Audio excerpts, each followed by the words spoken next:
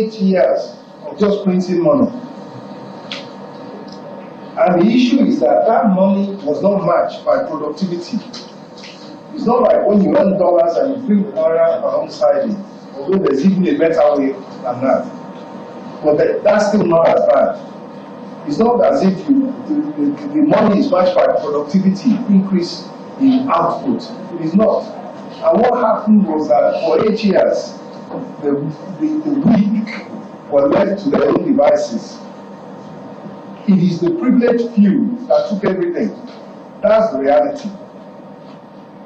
So that money supply must be sought back out to balance the economy. It's not just lifting of subsidy here or, or margin of rates there. No. It is a strategic plan. The whole fiscal side, the government's finances have been repaired. Even today, you distinguished senators have helped further to encourage and embolden the executive to further repair the finances, the fiscal situation of this country by endorsing and urging us to do something about the leakages in the import duty uh, waiver system. Well, that's the Minister of Finance and the Coordinating Minister of the Economy, Wale Edun, speaking about uh, why the economy is where it is at the moment. And uh, we're joined this morning by a former presidential aide, Laolu Akande. Good morning. Thank you for coming on today. Good morning. Good to see you again. Well, you know, listening to that, it just leaves several people because, I mean, they've heard a similar narrative previously in terms of what went down before and why we are at this point in time in the history of our lives with the economy. And many usually wonder how on earth could that have even happened? Many, yes, disappointed. But talk to us a little bit about that. I mean, does that that doesn't sound does that sound how do you respond when you hear that look, this is what was going on all the while for eight years, not even four, eight years. Well, I mean, I, um, there, there, are two things, you know, uh, try and see and understand how this happened. And of course, uh, to try and see what else ought to be done, especially mm. in the circumstances that we had. So, so what happened, you know, in, in the last eight years? Uh, I, th- I think fairly everybody in this country uh, has been gripped by shock at the level of, um, uh, you know, uh, they call it uh, uh, ways and means you know, last yeah. the central bank is the uh, lender of Over last 30 resort trillion. to to the to the to the to the federal government. So so there is a normal expectation that when they have to do it, but the scale and uh, the, the the the quantity of of its usage uh, seems to be what is really shocking.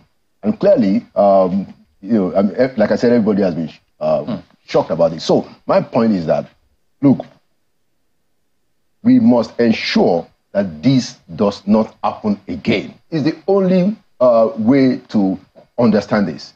Now, the current administration, in my mind, correctly, is saying that, look, this explains what you have.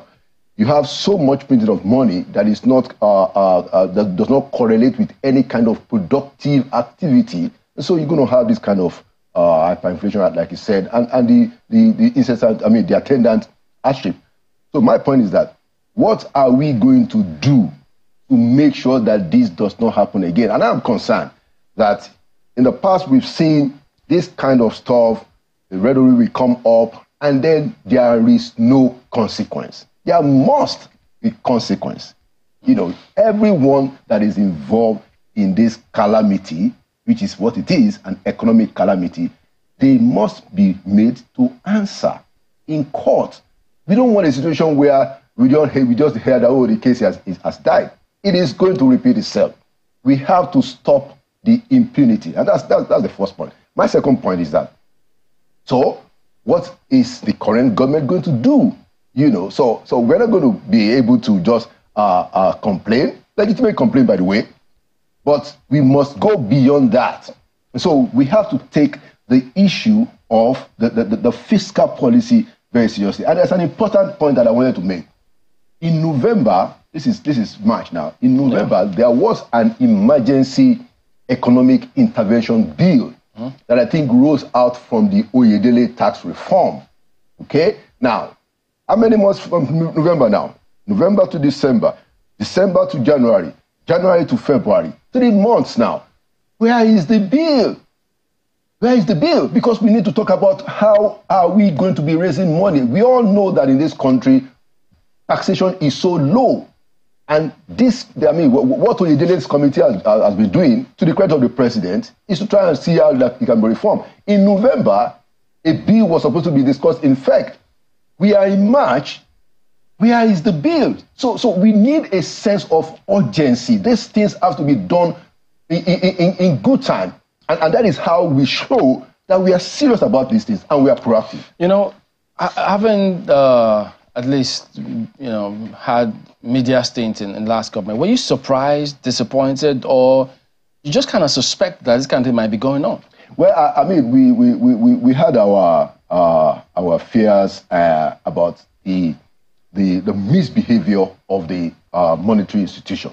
Clearly, there was nobody in the administration that didn't have an idea of you know how things were going, the shoddiness, the sloppiness, the lack of patriotism, and the mm. fear of scandals like this. But I don't even think that I had an idea that it was this terrible.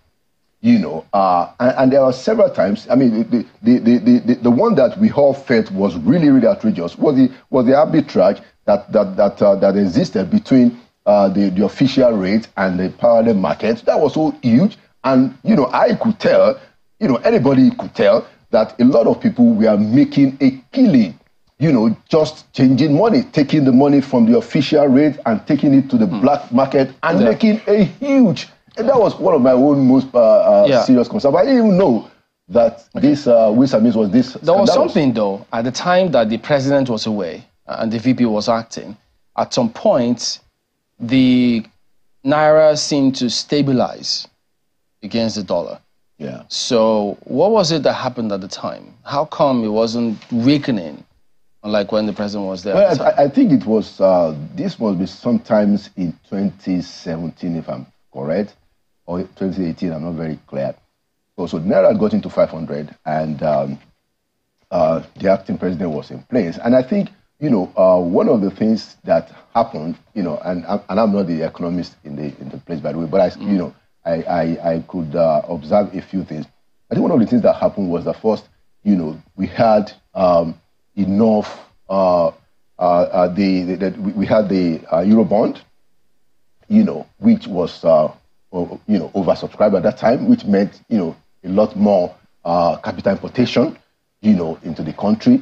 And I also think that there was, there, there was some kind of truth telling, you know, about what what what what the, the kind of excesses that had to be curbed, you know, at at several levels of government, and, and ultimately within the time, uh, the thing came back from 500 to about 380. The point is that look, if if you are willing to, and then I, I think of course the, even the arbitrage was trying, you know, try to tighten it at that time. If, if if you do what is right over time, you know, these things are not rocket science. Look at what is happening already already, you know, uh, we have seen an, an increase in the foreign reserves, and we are beginning to see some stability even in, in, in the rate because, you know, uh, I think Cardoso seems to have his, his, his, his high on the ball in, in the right way. But we have to deal on the fiscal side. You know, that's my point. What are we going to do? How serious? How, how, how urgent should we treat the question of sorting out the fiscal side? If we can sort out the fiscal side and we have enough money to spend, some of these problems will begin uh, to disappear. Was it possible for someone to be printing Naira notes for eight years without the National Economic Council knowing about it? Because this accusation from Mr. Wale is very direct. Free printing of Naira notes for eight years under the past administration that went into the hands of a privileged few without corresponding productivity very direct accusation. Yeah. Now you have alluded to the fact that yes, you had some idea, you didn't know how bad it was, but with the National Economic Council in place, and you were basically at every yeah. National Economic Council meeting during the last administration, did this come up at all? Well, you know, um, I, I, don't remember it coming up as uh, as as as, uh, as an item on the agenda specifically. you know, uh, don't forget that the National Economic Council is an advisory uh, body to the president. Okay, so uh, it, it, it, cannot mandate the president. But to your point, the central bank governor is a member of the National, National Economic Council. Council yes. Uh, uh, and he never, you know, nor the finance minister, to my uh, recollection, uh, discuss, you know, this in, in a way that, uh, uh, based on what we have seen, we've not, we, I mean, certainly there was no National Economic Council meeting where, you know, they said that, oh, this, there are about 30 trillion or so. You know, certainly I can tell you that certainly that did not happen. although it doesn't seem to have happened in, in, in one, one full strike. But I don't recollect any meeting of, of NEC, uh, you know, talking about uh, these things. I don't recollect. On whose authority was he printing all this money? Well, you know, we have to ask him. he can. Ra- I said CBN governor can randomly be printing money and no, no, that, that, that's what I'm saying. That, that's what I'm saying. Okay, maybe the other point I didn't make is that so the Central governor is a member of the National Economic Council, but the Central governor also has direct access to the president it's possible for the central bank governor to go well, to the president that's and get approval without Senate, being aware of anything. Now that matter possible. is being investigated now. Yeah. So the Senate have said, look, they're going to investigate that 30 trillion to find out what exactly happened. Mm. Was he printing without authorization? Did he get clearance? So all of that they're going to look into. But give us inside source where the governor's buying dollars after getting FAAC. That's the big problem. You know, uh, you know, and, this was this is one of the ways in which I, I, I think the naira uh, uh, is is often depreciated. You know, maybe not all the governors do it, but there is a significant amount of gov- numbers number of governors who will take part of their FAAC, the the, the, the, the, the week they collect it, and go to the BDCs this is just a fact. It's, it's an open secret. So they just mop up all the dollars. You know, so so so that affected, you know, the depreciation of naira and and the consequences that follow suit. You know, so so and, and some of the things that we are saying is that it's important for Mr. President to call the governors into order. Their argument, some of the governors say, oh well, lot, some of our projects are also dollar denominated and therefore we need some dollars. But but clearly there are a lot of excesses in that particular behavior. And I hope that you know uh, the, the, the, the, Nigerian people can begin to insist on the governors behaving properly. If governors in this country behave properly, I'm telling you that half of our problem will be sorted out. The governors were part of the National Economic Council as well. It's actually their, it's, it's actually it's, their it's actually their, their yeah. committee. Yeah. So they were taking FAAC, just so Nigerians can understand what you're, many governors, not all of them, right. they were taking the money that was allocated to the state and then they'll go to BDCs and change it to well, well, FAAC is different from uh, from NEC. So, so the people that go to the FAAC Federal Allocation Committee meeting are the, commissioners of finance, and that is different from NEC. NEC is where the governors themselves sit down. Okay, so so there is no, it's not that, and it's, it's essentially a, a, place to just sit down. That's fact to just say, okay, uh, the constitution says that federal government gets 53%, the state government gets this, you know, and this is how much we have this month, and this is how we're going to uh, distribute it. That's what FAAC does. Is after the FAAC, when they have collected the naira, that some of the governors will go and change part of it, significant portion of it, into dollars. Wow. You know, which is which, which, is a big problem in this country. I guess we'll find a way to look out and see if we could uh, just see if we could catch some on camera or somehow just see how some of these things go. I know it's not going to be easy, quite all right. I'll be an insider. But, yeah, that, that, that's the idea. But the other part, the Senate, uh, they also, the different House of Reps too, concerned about security uh, yesterday as well. So they thought mm. that look, they have to meet with the president about the security or insecurity is deteriorating. They think a lot more needs to be done about all of this. We also do know that the last time, former president did speak about it several times, but I think the people are divided as to whether or not it had the kind of impact. Of course, a lot of people thought, no, they didn't see the kind of impact that they expected, in spite of the president's express directive to security agencies. What do you think about that?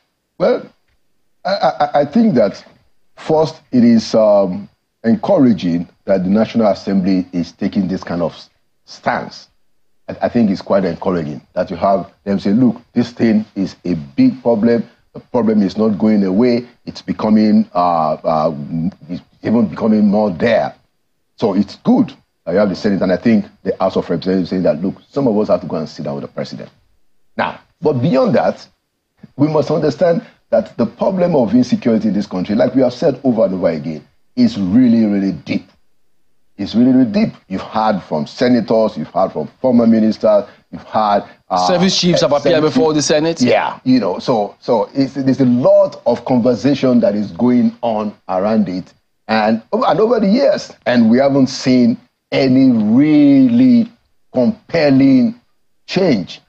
So I suspect that this is something uh, that is going to take far more than we already uh. But I'm sorry to say, everything, the box stops at the president's desk. People have spoken about collusion. You know, look, I mean, uh, one of the one of the things that I find very compelling, Dr. Issa Pantami uh, was the minister for digital economy and communications in the past administration, and when you had the FCT kidnapping, you know, those guys went into his uh, uh, an estate, kidnapped a family. You know, Dr. Pantami you know, I think it's, it's probably his relative or, or connected, you know, had to get involved in raising money to pay the ransom. And one of the things that he said in his tweet, like now ex Andrew, is that look, the security agencies don't use the, the, the data, the, the NIN data that is in the Ministry of Communication to track.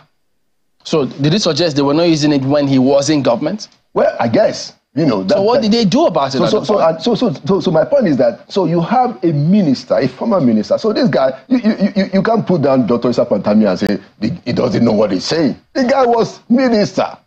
He said on his Twitter, and I, I even saw him at an event. I said that thing that he said, I said yes, that security agencies are not using it. So, so you have a situation where there is tremendous uh, uh, silos operation. Everybody is just doing their own thing. I mean, some of the some, some senators have also said that uh, uh, that look at the issue of oil theft. That that oh, well, Navy said at some point that well, look, we don't know what NNPC is doing, and so even though we are head there on the seas, we don't know what NNPC is doing, so our assets are not available. You know, all, kinds of very discordant views. Mr. President is the one that must rein in and say no more. It's a very tough call. And honestly, nobody should envy the president. But look, there are deeper problems in that security that if we don't have a courageous leadership attitude to say that, look, this thing cannot continue this way, there must be a drastic change. And I, will make this point. One of the one of the job of Mr. President, whoever is president, is that look, you must your, your strongest point, your, one of your strongest uh, uh, uh, weapons is to hire and fire. You must be able to know when somebody or people in place are not delivering because there are people who will deliver. Look, there are people in this country, there are people in the security agencies who can solve this problem. I have no doubt about that. So if, if, if, if you are in place, the president should say, I give you six months.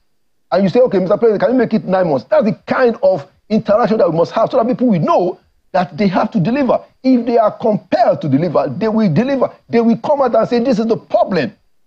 And it's getting to that point in this country today that this kind of discussions, this kind of conversation, these are very frank conversations, have to be happening. Well, um, you know, Mr. Thank you, Jimmy. Well, Mr. Konde, you, you, you rightly put. But then there are those who would also be quick to remind you that the president does not have authority over the state governors. And I'm glad that you already laid some responsibilities at the feet of the governors. Now, the Senate wants to meet the president on these security concerns. The senators represent states. They can you know, have conversations with their state governors. A number of people have said all security concerns are primarily local. It's in the locals that people are killed, that things are raced down. I saw the response of the governor of Akwa Ibom State, I think, yesterday on the news at 10, and it was given a marching order. You local administrators, you know you are not elected. You are just administrators. If you do not do this, if I hear this again, I'm going to remove you. He already made that clear. But the president cannot say that to any governor. So I'm glad that you also mentioned the fact that the governors have a responsibility Many times when we talk about security and we talk about the president, sincerely, something in me is saying, look, Are we neglecting the fact that the governors collect security votes, which someone said runs into billions, and they are supposed to do something in their localities? How do you respond to such a to such a thing? Yeah, so so uh, I, I don't think we we should expect the president to uh, uh, you know order the governors are around, you know, especially on on on matters you know for which they are constitutionally responsible. So we have to separate it. But even then, the president does have a bully pulpit. Let me tell you, if the president were to call a governor or some governors and tell them in an informal discussion that, look, this, this, this, this has to stop. There will be very few governors who will be willing to go against the president. So, so the, the, the influence of the president is gargantuan. It's huge, especially in the country like Nigeria. But I'm not saying that, you know, I agree with you entirely that there are constitutional limitations. Now, talking about the states, I think one of the credits that we must give to the president and many of the governors is that look, and even you know a lot of uh, our stakeholders is that we have, we, have, we, have, we, have, we, have, we have come around to say that look, let's do state police. So, so let's hope that that conversation we, we move quickly so that the mm. states can become more uh, be, be held responsible for the security of their state entirely. And you're right. There's a lot of security votes that goes to the governors, you know, uh, but in their in their defense, in in many of the states, uh, the states governments are the ones that are funding the purchase of vehicles for the police uh, and, and and several other equipments. You know, we, we can't deny them that. What is missing is that look, the state governor ought to have the final say on the police in a state. And I think that's one of the things that the state police will do for us even though we also have to worry about how that is not abused. Very important. But at least well, when we move to state police, the state governor will not be able to say that, oh, I have to, I have to call the high G. Mm. You know, the state governor will be able to sort out uh, the problems by himself. Okay, well, Mr. Akande, one of the things that a number of people have also said, some experts have said can help to solve the security problem is to deal with the poverty problem deal with the economic challenges that people are having, stabilize lives for them. Many of the uh, insecurity issues we have are largely economic crimes, as uh, Mr. Frank Mba once put it. Economic crimes. So it's only because it is poverty. You know, many of these things are poverty induced. And I go back to the states. Because if we get it right, I feel that if we get it right at the states levels, it would be very minimal that the president or the federal government would really have to do, other than supervisory and all those things. So, in terms of alleviating some of the poverty issues that evoke economic crimes, what gaps do we need to fill? Just yesterday, even this morning, we still saw that headline uh, that uh, this morning that the UN says that 200 people confirming that 200 women IDPs, you know, have already been, you know, something has happened to them, confirming that that thing indeed occurs. So, please, what do what gaps do the governors need to fill in that area of economic challenges in their various states? Very, very, very important question. Uh, a lot of resources have been going to the governors, especially since after June, uh, with the quote unquote, you know, uh, removal of the of the subsidy and the, uh, the, the, the, the devaluation of the naira. So, so there is more naira in the hands of the governors than before. I'm not sure of what percentage, but a significant increase has come to the governors as a result of those two important, uh, those two critical policies. You know, so we need to hold the governors more accountable if they are not ameliorating the, the, the, the, the hardship in their states. You are, you are entirely right. Some of them have done very well. Look at um, uh, uh, Governor Makinde for your state you know, he said that, look, I'm going to suspend uh, any taxation on uh, agricultural produce. That is good, you know, more like that. But in terms of providing uh, immediate succor to the people, we must hold the governors more responsible because now they have more cash. They have significant more cash to be able to touch the life of the people. So I, I agree with you entirely that look, we, we shouldn't be focusing only on the federal government we should be paying even closer attention to what happened I in the states. that uh, many of those governors can't give 24 hours uninterrupted power supply. There'll be a question. Yeah, Because, because- because if Abia. State can do it, why can't states who have more resources even do it? It takes three years, as was told by Professor Pat, and we'll drum it home at any time we do have. So thank Very you true. for, for coming on this morning, Laolu. Well,